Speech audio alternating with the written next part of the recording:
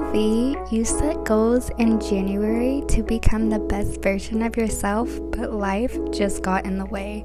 But you're trying to get back on track, the weather is warm, and you still want to become that girl by the end of the year. That is exactly what I'm doing in today's video. I am doing all the daily tasks that the highest version of me would do.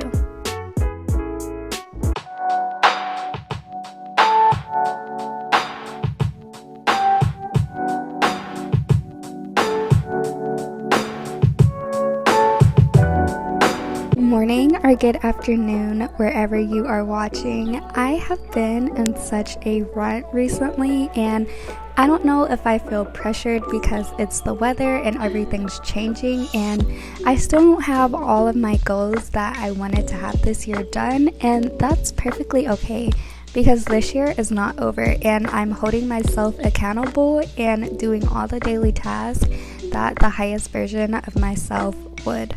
Remember, this year is not over. We still have time, especially with summer coming around.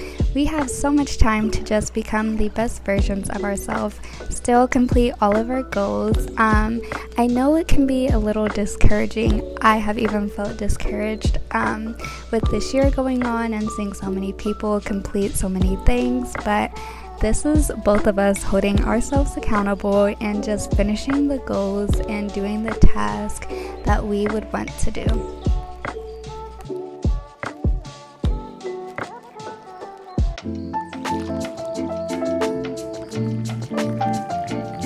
A clean house is a clean mind, is what I always tell myself. So always give yourself at least like five or 10 minutes just to clean. You don't have to get it all done. Be nice to yourself. But um, I wanted to clean my makeup brushes because my skin has just been a little out of whack lately. I have been breaking out, if I'm being completely honest. So I needed to clean off all of my makeup brushes to get all of the dirt and grime off. But I'm just remembering that I'm being kind to myself. I am romanticizing this because I only get one skin. So I need to be kind to it. I need to treat it nicely.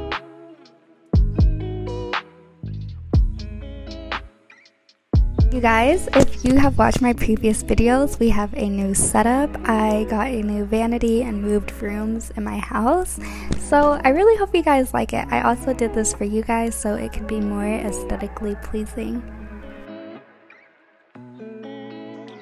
And now I'm just showing you guys what my skin looks like. Now doing this voiceover, my skin looks a lot better now. But um it was really breaking out right here and I just wanted to just take care of it. Um, one of my goals this year was to just really clear up my acne so I have been doing everything that I know possible that would work. If you guys have any recommendations definitely leave that in the comments. I'm using this Glam Glow clearing treatment mask. Um, my mom actually bought me this so I have no idea where you get it but I'm sure you can get it online if you look it up. But I did actually like this face mask. It was my first time using it and it really pulled everything out of my skin. So it felt really great after whenever I washed it off.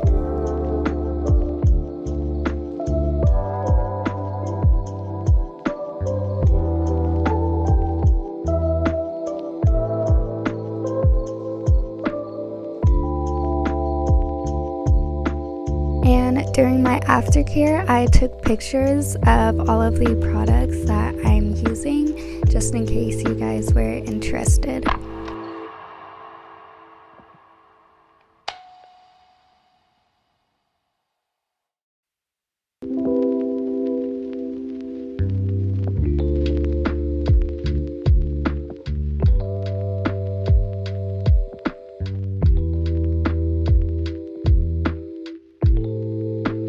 We are about to make my favorite smoothie. Um, I put the ingredients on the screen for you guys in case you guys wanted to try it or make something similar. Definitely go for it. I love making smoothies.